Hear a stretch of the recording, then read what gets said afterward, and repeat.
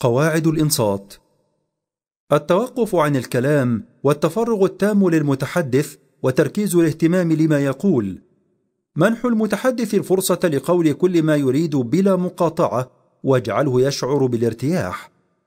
تشجيع المتحدث على الحديث ومواصلة الكلام بالنظر للمتحدث والاستجابة لكل ما يقوله من خلال تعبيرات الوجه وإيماءات الرأس وذكر كلمة نعم.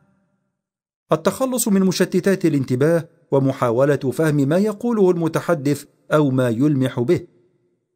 السيطرة على العواطف والمحايدة بلا تعصب ولا تحيز. التنبيه للتعبيرات غير اللفظية أي لغة الجسم. الصبر والمحافظة على ضبط النفس والتعاطف مع المتحدث.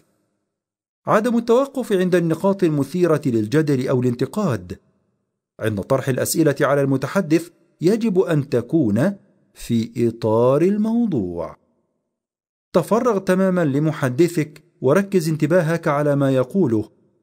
أعطيه الفرصة لقول كل ما يود التعبير عنه. أصغي بهدف الفهم وليس المناقضة. تنبه إلى تعبيره غير اللفظي.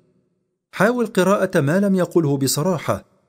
ركز على الأفكار الأساسية. تحكم في العواطف.